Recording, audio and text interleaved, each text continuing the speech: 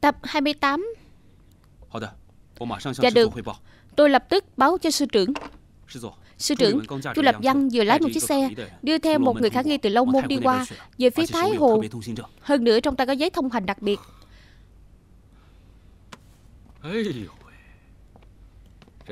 Phương Nguyên này đúng là biết tính toán. Cả thành Tô Châu. Không có chuyện gì có thể che giấu anh ta. Nói cho các anh em theo dõi sát. Tôi lập tức đến Sao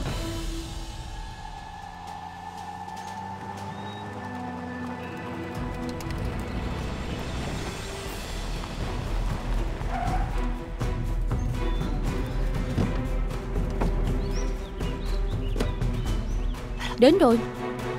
Đi. Đi. Đại tiểu thư Anh cố tam. Anh Cố Tam Mau dẫn Du Thừa Lâm rồi khỏi đây. Được đi. Chu Lập Văn. Du Thừa Luân Cậu muốn làm gì? Tôi muốn giết anh ta. Bác Chu vừa cứu cậu Cậu không thể giết anh ta. Nhưng giữ lại anh ta sẽ để lại hậu quả. Đại tiểu thư Cô sẽ không xin cho anh ta chứ. Du Thừa Luân Nếu như cậu nổ súng Sẽ dụ dặt đến đây đấy. Đến lúc đó ai cũng đừng hòng đi. Thừa Luân Cậu đừng có kích động. Đại tiểu thư nói đúng.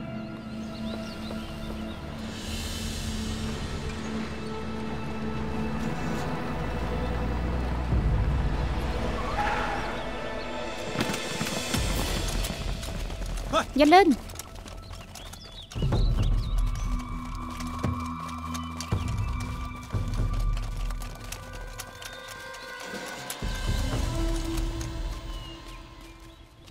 Như ca, ngữ đường, soi lại đến đây? Chúng tôi nhận được tình báo. Chỗ này có tội phạm truy nã của Hoàng quân. Tội phạm truy nã. Ở đâu? Ai cơ? Đây à. Đây là cảnh sát bí mật của cục tôi bị trọng thương. Bây giờ tôi đưa cậu ấy về quê dưỡng thương. Đây là cảnh sát bí mật của cậu à. Vậy đưa về, đưa đi điều tra. Không có vấn đề gì tôi thưởng cho cậu ta. Đều là người của mình mà. Cận ngữ đường. Phần tử cặn bã nhanh. Bề ngoài giống như một người tốt. Thực ra bên trong Chính là một con chó của người Nhật. Có bản lĩnh. Thì giết tôi đi. Cục trưởng Chu. Đây là cảnh sát bí mật của cậu à. Được lắm. Hán giang của thành Tô Châu đều tụ hợp lại hết rồi. Cậu. Ngữ đương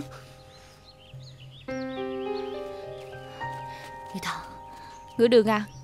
Thả cô ấy đi đi mà. Sao cô cũng đi cùng vậy? Tôi muốn cứu họ ra ngoài thành Nhưng không có cách.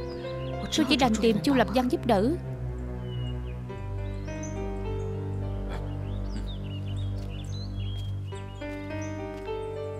Vâng Thả người. Đi. Đi đi nào. Cục trưởng Chu Chuyện hôm nay, Trời biết đất biết, cậu biết, tôi biết.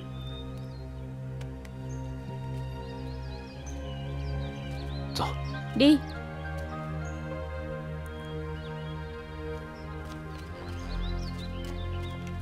Thu đội.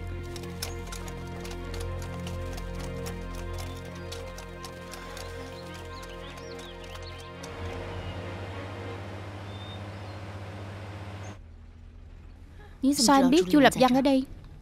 Phương Nguyên nói tôi biết. Vậy nên tôi mới phái người đến canh chừng Chu Lập Văn. Phương Nguyên Sao anh ấy lại biết? Hai chúng tôi trước đây là anh em sống chết cùng nhau. Nhưng bây giờ tôi càng ngày càng không hiểu cậu ấy. Có khi tôi thấy cậu ấy là người của phía Tô Bắc. Nhưng cậu ấy lại khăng khăng xuất hiện là một gian thương. Khi tôi nhận định cậu ấy là gian thương Cô ấy lại làm ra một số chuyện ngoài dự tính. Tôi thực sự càng ngày càng không hiểu. Càng ngày càng không hiểu cô ấy. Tôi cũng vậy. Anh ấy của hiện tại Với anh ấy của trước đây Quả thực rất khác nhau. Cậu ấy quá đáng lắm rồi. Đặc biệt là lần này Tôi mới nhắc đến cậu ấy.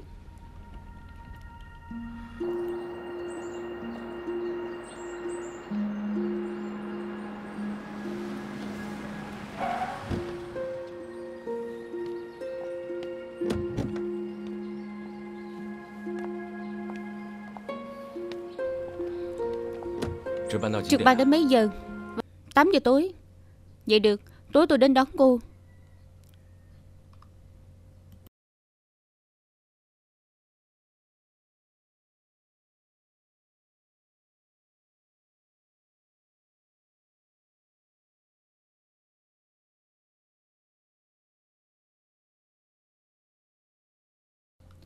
Sư trưởng, về sư bộ sao? Phương Nguyên, cậu sớm đã không phải là trung đội trưởng ngày xưa. Trong suy nghĩ của tôi nữa rồi. Trong mắt cậu chỉ có lợi ích. Tôi sẽ không giao Như ca cho cậu đâu. Không, đến cửa tiệm trang sức Dương Tử. Rõ.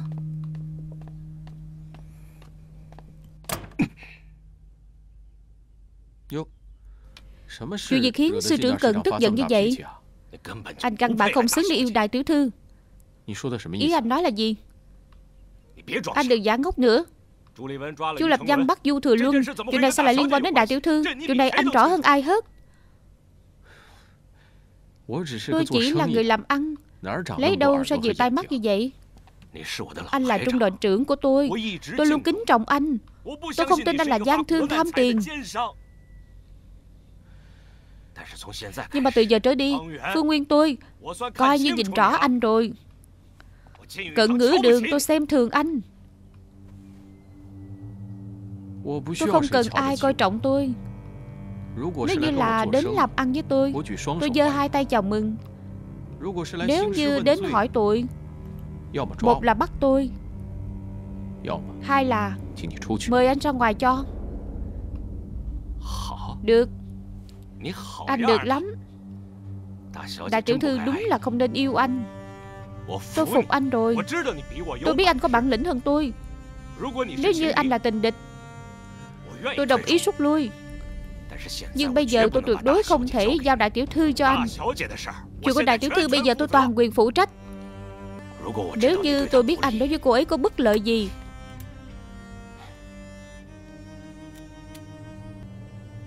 Trước đây tôi đã từng nói, Đảng của tôi tuyệt đối sẽ không hướng vào đồng bào của mình.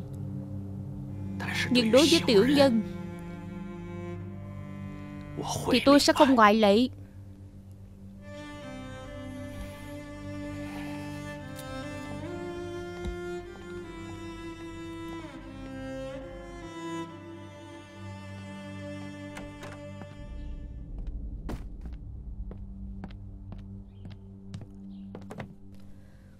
Cận ngư đường suốt cuộc là người của ai? Anh ta rõ ràng biết Du Thừa Luân là sát thủ truy nã của Hoàng Vương. Anh ta dám thả người. Tôi không hiểu nổi. Anh ta suốt cuộc bán bạn cho ai? Vậy là sao? Chuyện này chưa rõ ràng mà. Chính là muốn chặn bồng của tôi hãm chân tôi. Tôi luôn nghi ngờ. Anh ta bán thuốc và súng cho bên tôi bắt, Tôi không bắt được bằng chứng Anh lấy ơn báo quán sao Cận ngư đường vừa thả anh Anh quay mặt lại muốn mưu hại anh ấy Mưu hại Nếu tôi muốn mưu hại anh ta Tôi cần báo cáo trước với em sau. Mỗi chuyện tôi làm hiện tại Mỗi câu tôi nói đều là vì em. Vậy tôi phải cảm ơn ý tốt của anh. Nhưng mà Tôi muốn nhắc anh một chuyện. Anh vẫn nên suy nghĩ lại hoàn cảnh của bản thân mình đi. Anh đừng quên. Tội phạm truy đã nghiêm trọng kia Là do đích thân anh đưa ra khỏi thành đấy. Chuyện này thì đúng. Chuyện này căn bản như một cái bẫy. Trường Như ca em làm cái bẫy cho tôi và cần ngửi đường vào đó. Có làm hay không? tự trong lòng tôi rõ. Anh như vậy là đang kìm nén tức giận Chạy tới chỗ tôi giải thoát sao? Ra ngoài đi. Được. Chuyện này tôi nhớ rồi đấy.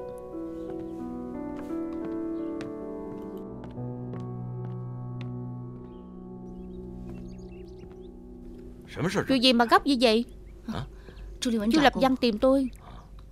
Tôi thấy anh ta sẽ không dễ dàng bỏ qua chuyện này. Anh ta nhất định sẽ còn gây phiền phức cho anh.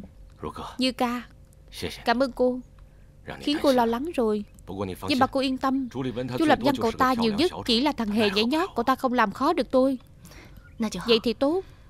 Tôi không còn chuyện gì nữa. Chỉ đến nhắc nhở anh thôi. Cẩn thận Chu Lập Văn. Tôi đi nhé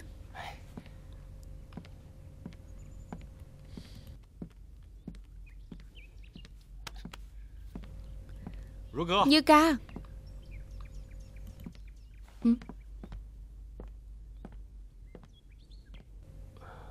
Tôi có chuyện quan trọng Muốn nói với cô. Chuyện gì? Đi theo tôi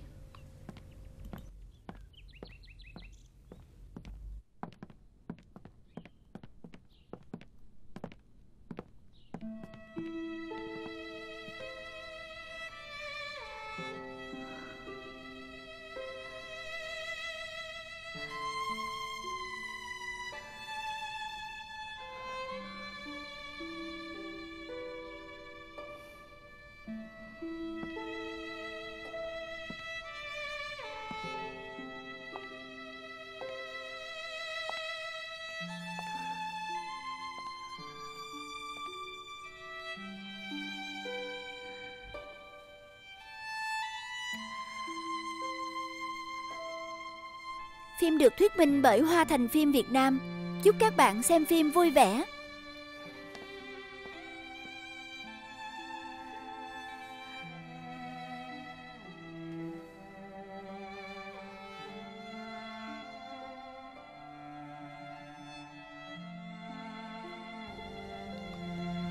Cháu thích Dư ca Không gặp được cô ấy Cháu sẽ đứng ngồi không yên Vừa mới gặp cô ấy đã vô cùng vui mừng Vừa mới chia xa Đã thấy nhớ. Phương Nguyên cháu lần đầu cảm giác như vậy. Mà có Phương Nguyên cháu Cả đời này sẽ cùng Trần Như Ca. Chỉ cần cháu sống Cháu sẽ bảo vệ cô ấy thật tốt. Anh của ngày xưa em từng yêu. Nhưng anh của hiện tại em không muốn nhìn thấy Em cho rằng là anh làm sao? Phương Nguyên. Anh thực sự khó đoán. Không ai có thể nhìn thấu anh. Tôi không có gì để cầu xin. Tôi ở trên chiến trường giết vô số quân địch. Nhưng đối diện với tình yêu thì không có tư cách. Đến mạng cũng không phải của bản thân. Cảm ơn cô. Khi trên chiến trường này tôi gặp được em Tôi bảo đảm với em. Sẽ có một ngày cần gửi đường Dùng tính mạng của mình để chứng minh sự trong sạch của em.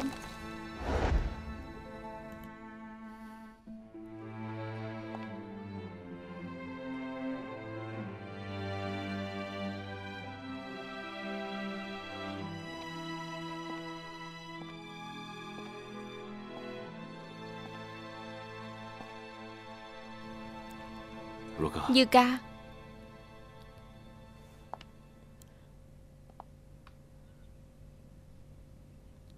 Thế nào?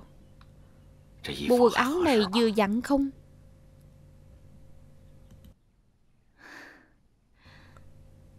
Bộ quần áo này thích hợp với anh nhất rồi. Sao anh có thể giấu một bộ quân trang như vậy? Người Nhật nếu như biết được Bọn họ sẽ gây rắc rối cho anh đấy. Anh biết. Anh biết sớm muộn gì cũng sẽ mặc lại nó. Bởi vì anh là quân nhân Trung Quốc Thế nào? Váy cưới đẹp không? Đẹp. Bộ này làm theo kích thước của em. Nó chỉ thuộc về em. Như ca Chúng ta bên nhau trải qua nhiều chuyện như vậy Anh càng hiểu em Thì tình cảm dành cho em càng sâu đậm nếu như không có sự bầu bạn của em, Trong quân doanh Nhật Bản, Anh có thể sớm đã sụp đổ rồi. Thậm chí là điên mất. May mà có sự bầu bạn của em. Anh kiên trì đến hôm nay. Anh áp chế hết mọi áp lực.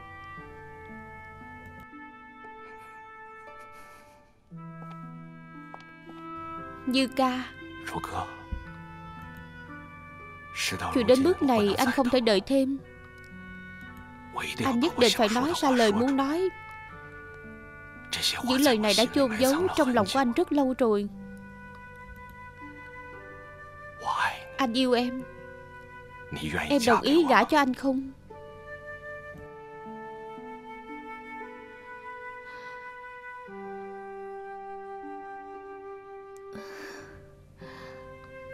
Ngữ đường. Cảm ơn anh. Anh thực sự khiến em rất cảm động.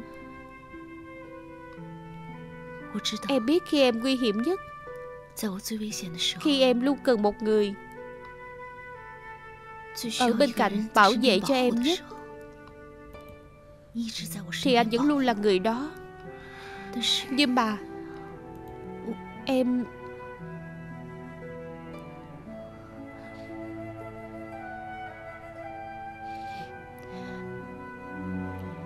Em luôn coi anh là người thân.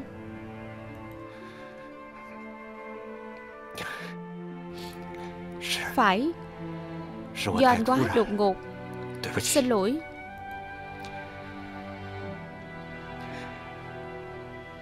Em cũng không cần vội trả lời.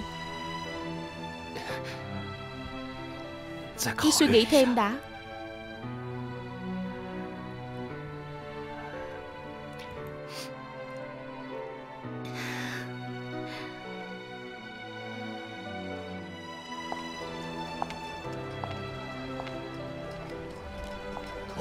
Anh yêu em.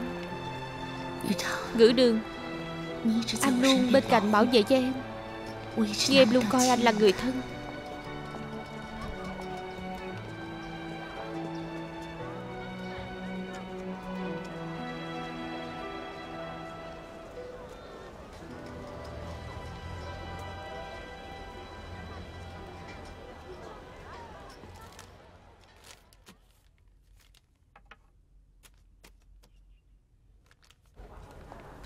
Xin chào đại tiểu thư.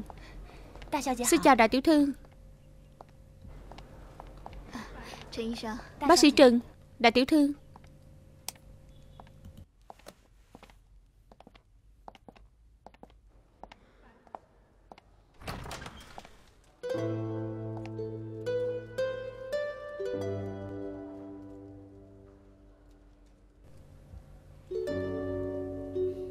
Vào rồi nói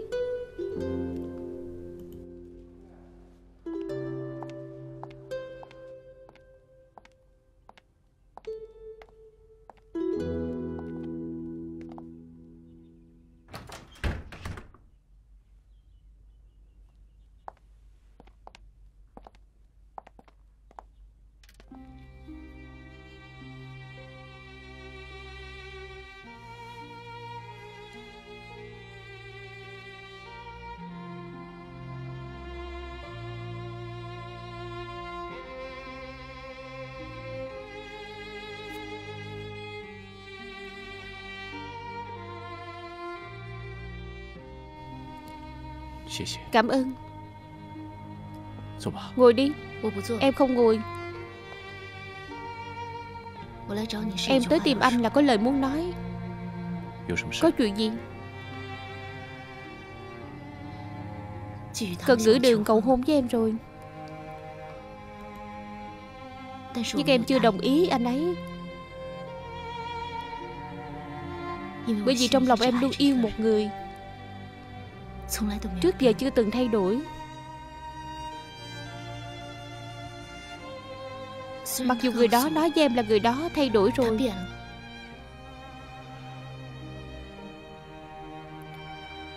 Nhưng em vẫn có một chút ảo tưởng với người đó. Em cảm thấy người đó đang lừa em. Người đó có nỗi khổ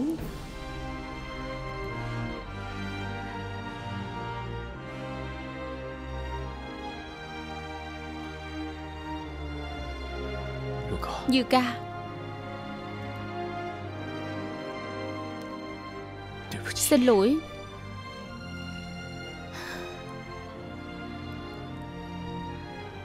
Lại là xin lỗi. Em không muốn nghe anh nói câu xin lỗi.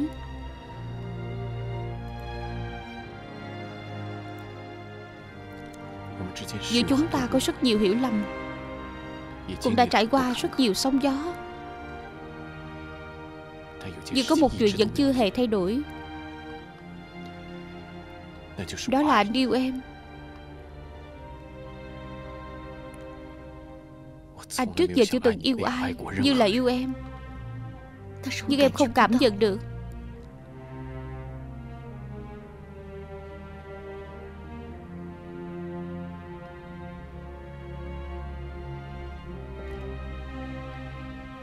Anh biết anh chưa đủ tốt với em.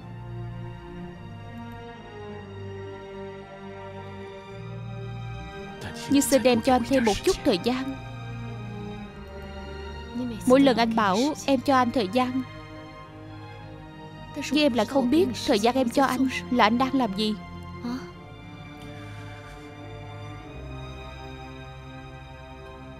Nói đi.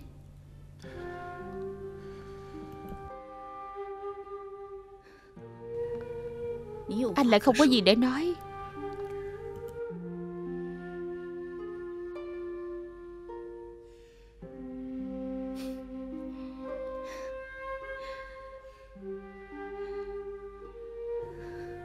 Em cũng chẳng có gì để nói.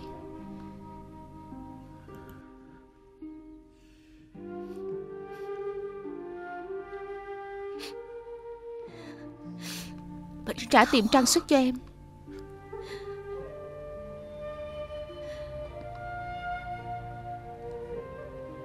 Đây là củ hồi môn của em.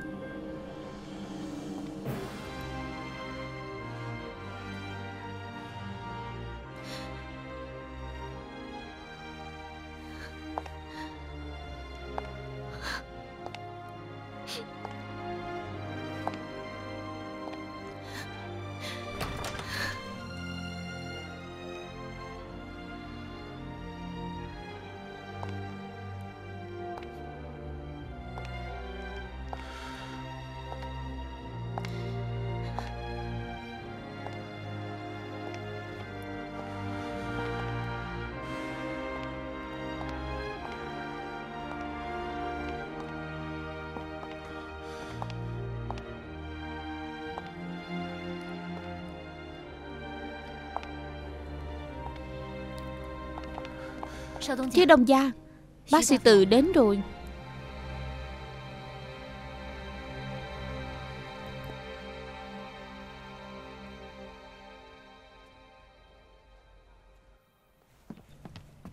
Nào ngồi đi. Hôm nay tôi đến đây Là để đem cho mọi người vài tin tức. Nói tin tốt trước. Từ đợt càng quét của quân địch Quân Tân Tứ chúng ta đã bắt đầu tấn công khắp nơi. Khu vực Tô Châu, Thường Thục Liên tục tấn công quân ngụy và quân Nhật. Bắn chết và làm bị thương hơn một ngàn người. Vì vậy chính phủ Nam Kinh vô cùng bất ngờ. Ngoài ra chúng ta ở Tô Bắc xây dựng được bộ máy đảng và chính phủ thống nhất. Đội chủ lực của chúng ta hiện nay đã tăng lên 28.000 người. Lực lượng vũ trang cũng có hơn 2 dạng. Như vậy quá tốt rồi.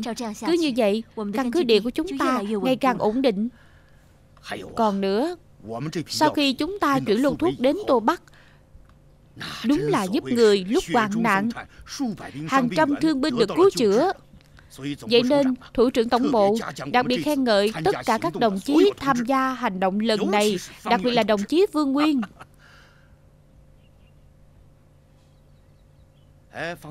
Vương Nguyên, sao cậu không nói gì? Bác sĩ Trần, tôi muốn hỏi một chuyện. Tôi có thể nói cho Dư Ca biết thân phận thực sự của tôi không? Phương Nguyên à, suốt cuộc anh đang nghĩ gì vậy? Bác sĩ Trần mặc dù giúp đỡ chúng ta không ít Nhưng bên cạnh cô ấy toàn là Hán Giang và quân giặc đứng đầu thành Tô Châu. Kitano, Chu Lập Văn còn cả Cốc Đa. Hơn nữa Kitano vẫn luôn muốn thu nạp cô ấy Bám theo nhất cử nhất động của cô ấy. Nếu như thân phận của anh bị lộ Trạm liên lạc bất cứ lúc nào cũng có nguy cơ bị bại lộ. Dư Hạ Suốt cuộc là chuyện gì Giữa bác sĩ Trần và Thiếu Đông Gia có rất nhiều hiểu lầm lớn.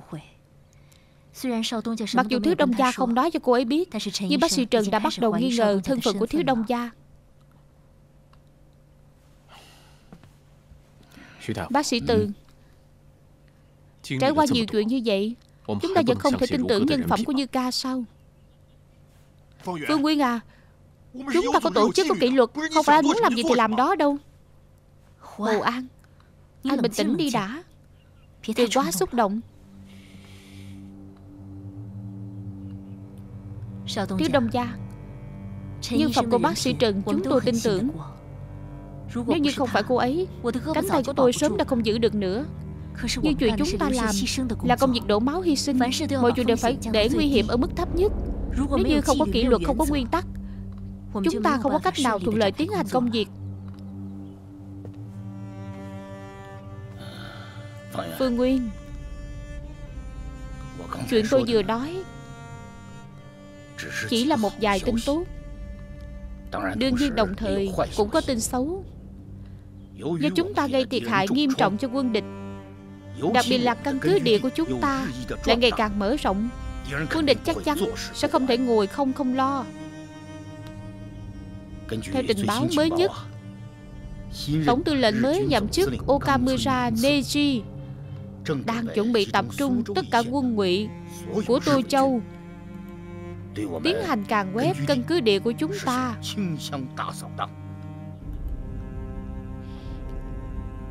Cận ngữ đường là bộ đội đầu hàng.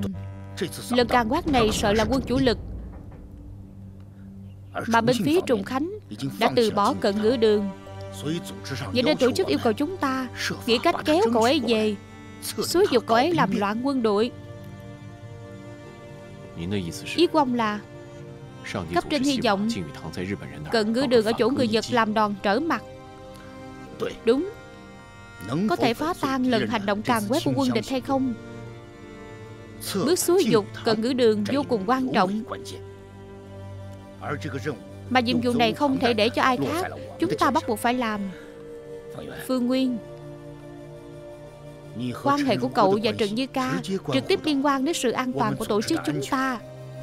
Và việc triển khai hành động Đặc biệt là hiện nay suy nghĩ vấn đề Nhất định phải từ đại cục Chuyện này có liên quan gì đến Như Ca? Muốn dụ cần ngữ đường đến quân tân tứ của chúng ta Cần phải rất nhiều vấn đề và thật tỉ mỉ cẩn thận. Hơn nữa xúi dục là một nước cờ nguy hiểm. Nước cờ quyết định Thân phận của tất cả chúng ta đều không thể bị lộ. Hậu quả này cậu nghĩ đến chưa? Nhưng tôi thực sự không muốn nhìn thấy dáng vẻ đau khổ, dáng vẻ thất vọng của Như Ca. Đối mặt với quân thù, Nếu như chúng ta kéo Trần Như Ca vào chuyện này, Thì chỉ có thể đem đến nguy hiểm cho cô ấy. Vậy nên Cách chúng ta bảo đảm an toàn cho Như Ca tốt nhất Chính là cách xa cô ấy. Còn cách cô ấy càng xa thì càng an toàn. Phương Nguyên à Chuyện này đương nhiên rất tàn khốc, Nhưng mà chiến tranh chính là tàn khốc như vậy. Dùng tình cảm làm việc sẽ khiến bản thân càng nguy hiểm hơn. Tôi thì hy vọng cậu suy nghĩ thật kỹ. Tôi tin là cậu sẽ nghĩ thông.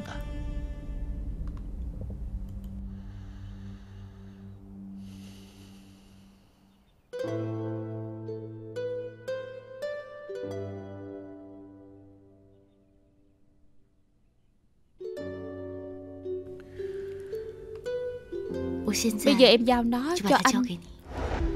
Đó là của hồi môn của em. Anh hiểu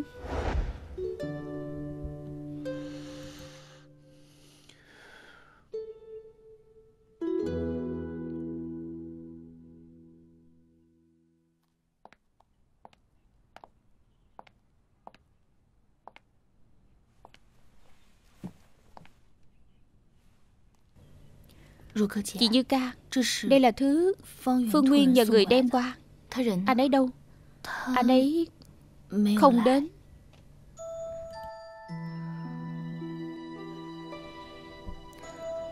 Em về trước đi. Chị Như Ca. Chị muốn ở đây một mình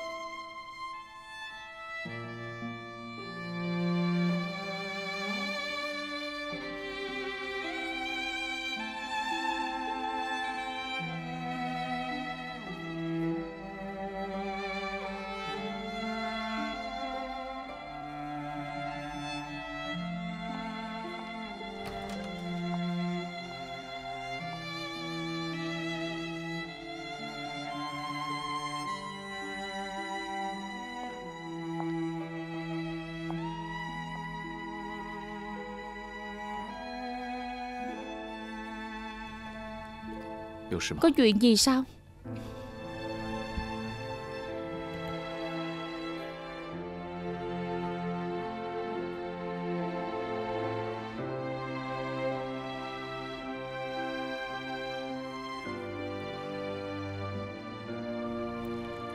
Tiếu Đông Gia. Tôi biết trong lòng của anh rất khó chịu. Nếu như anh có điều gì khó nói Buồn chán Cứ nói ra sẽ tốt hơn Không sao. Cô về trước đi. Để tôi một mình yên tĩnh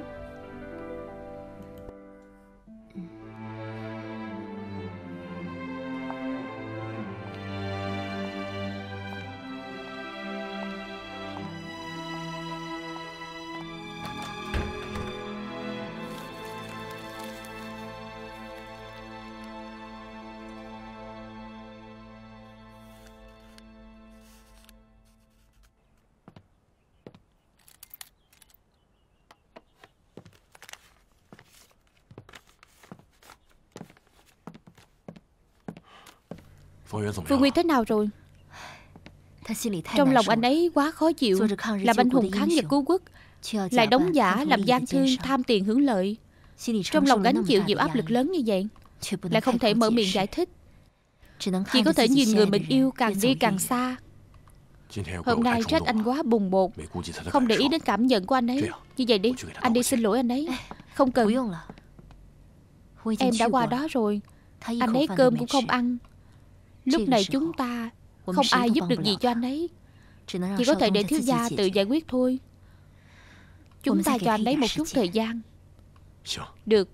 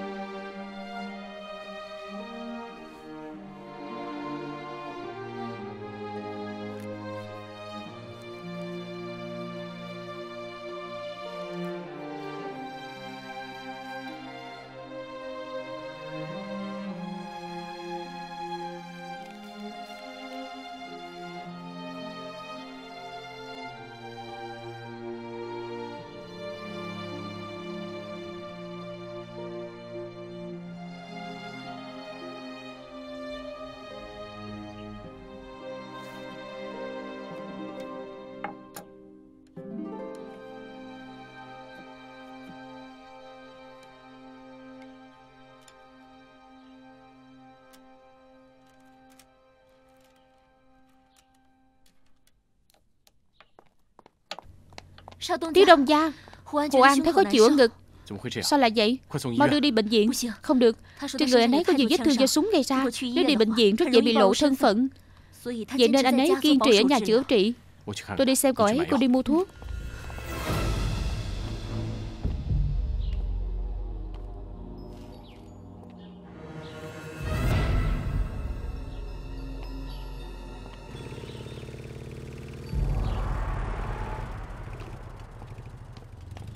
Ngài cố vấn.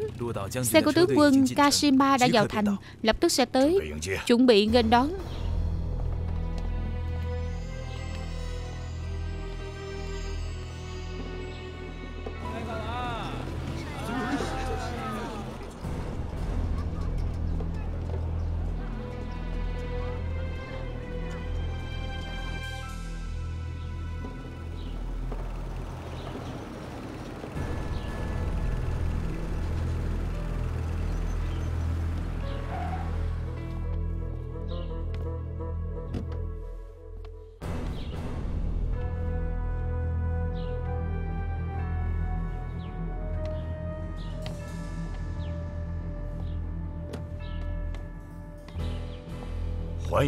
quan nghênh tướng quân Chức lãnh đạo tất cả quan chức Trong giới quân sự và chính trị của Tô Châu Đều đang đợi ở đây. Rõ. Mời ngài.